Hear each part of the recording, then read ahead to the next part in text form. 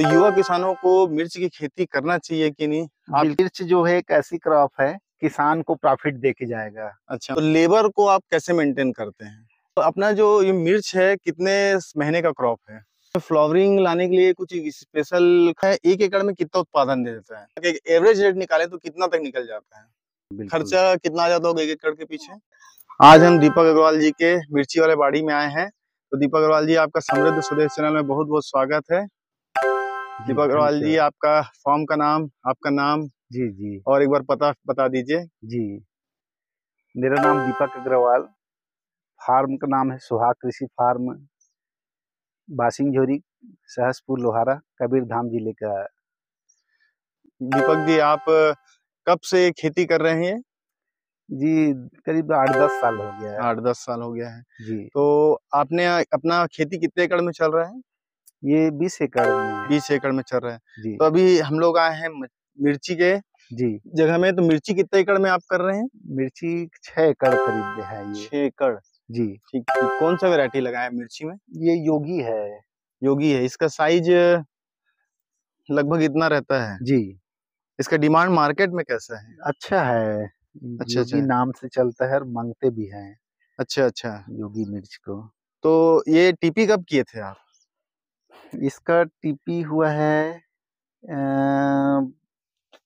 पंद्रह जून को। पंद्रह जून के आसपास। जी। तो जैसे पंद्रह जून को आप टीपी किए तो हार्वेस्टिंग कितने दिन में हो जाता है इसका? ये चालीस दिन में।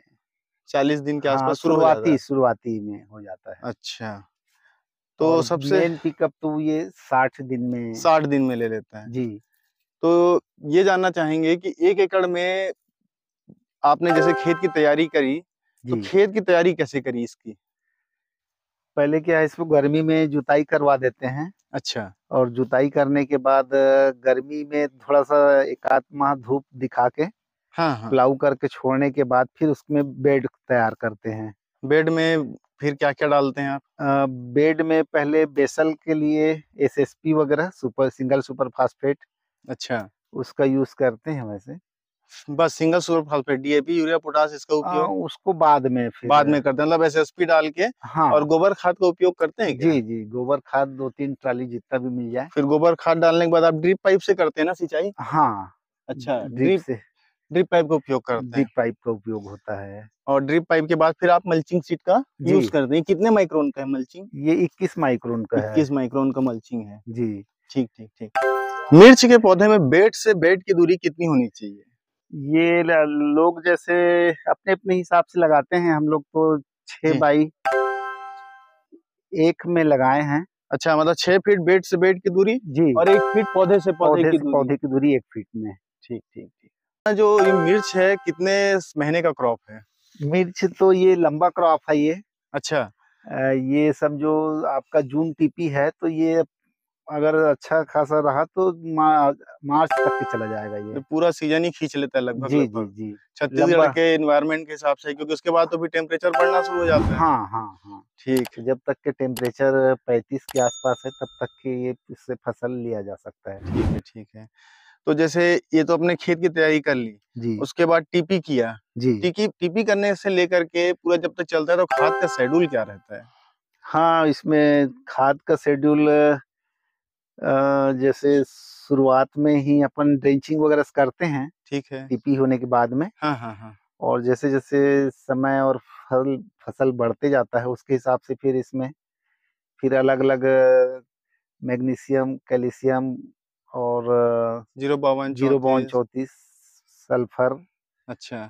इसका सिचुएशन के हिसाब से देखते हैं हाँ, मतलब उस समय क्या मांग रहा है? रिक्वायरमेंट क्या है? हाँ हाँ हाँ। अच्छा अच्छा तो हिसाब से सभी विभिन्न प्रकार के जो वाटर सोलूबल है ना हाँ, हाँ, सभी हाँ. का उपयोग करते हैं लगभग। इसमें फ्लावरिंग लाने के लिए कुछ स्पेशल खाद का उपयोग करते हैं या स्प्रे का उपयोग करते हैं बस जिंक और बोरान कैल्शियम मैग्नीशियम अच्छा। इसका बस मेंटेन रखना है। ठीक। तो जैसे कि सेकेंडरी ये है। खाद है समझो। हम्म, उस पर विशेष ध्यान रखना है। ठीक ठीक ठीक। इसमें आपने जो बंधाई किया वो एच सिस्टम से किया है। जी। है ना? एच सिस्टम से किया है और नीचे इसमें आपने ये धा- नौ नास का तार लगाया है हाँ हाँ। और इसको इस तरीके से बांधना है ताकि गिरे मत। जी। अच्छा। हवा वगैरह से। इसमें तो एक ही बंधाई की ज़रूरत पड़ेगी कि ऊपर और बंधेगा नहीं दो बंधाई है इसमें। अच्छा। एक नीचे में फ़र्स्ट रो है उसके बाद सेकंड ऊपर में है। अच्छा। बस दो लाइन का है अच्छा अच्छा। उसके बाद फिर ज़रूरत नहीं है? हाँ इसकी हाइट कितने तक रह जाती है? ये करीब करीब साढ़े चार फीट। अभी मतलब और बढ़ेगा ये? हाँ ये थोड़ा सा और ग्रोथ लेगा। ठीक ठीक। अभी क्या है टीपी से अभी तीन महीने का भी नहीं हुआ है ढाई महीने का ही है ये। अच्छा। तो और आएगा ऊपर ये। तो जैसे अभी ये एक एकड़ में कितना निकल जा रहा है माल? अभी लगभग लगभग एक राउंड में दो टन के आसपास। दो टन के आसपास चला जा रहा है। जी। और एक एकड़ का ही है। हाँ। और क्या रेट चल रहा है अभी? अभी तो रेट अच्छा है मार्केट में डिमांड अच्छी है इसकी। तो चालीस रुपए के आसपास का चालीस रुपए के आसपास चल रहा है। जी। चलिए बढ़िया है। तो ये जो है एक एकड़ में कितना उत्पादन दे देता है? ये अगर इसका सही से ये ये करें जैसे हरा में ही ज़्यादा इसका अब सूखा का तो उतना नहीं किए हैं कैलकुलेशन किए हैं। अच्छा। फिर भी 18 से 20 टन के आसपास एक एकड़ दे देता है। हाँ हाँ। और एक average rate market up down सब मिला के एवरेज रेट निकाले तो कितना तक निकल जाता है? बीस रुपए के आसपास एवरेज रेट निकल जाता है। जी जी। ठीक ठीक ठीक।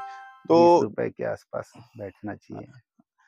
अच्छा। तो इसका मतलब चार लाख पाँच लाख के लगभग एवरेज निकल जाता है हाँ। हाँ बिल्कुल। खर्चा कितना आ जाता होगा एक एकड़ के पीछे? वो अगर शुरुआत से ही और आखिरी तक की हिसाब लगाए तो लगभग दो लाख रुपए का दो लाख। तो मोटा मोटी दो से तीन लाख रुपए का प्रॉफिट हो सकता जी है। जी जी जी ठीक। ठीक तो मिर्ची के खेत में मिर्ची तोड़ने में सबसे ज़्यादा समस्या आती है। जी। तो लेबर को आप कैसे मेंटेन करते हैं? आ, क्या बाकी बाड़ी जैसे फार्म बीस एकड़ का है तो खाली समय में अपन मिर्ची का ही यूज़ कराते हैं लेबरों को। अच्छा। और ये कंटिन्यू रखते हैं अपन तोड़ाई।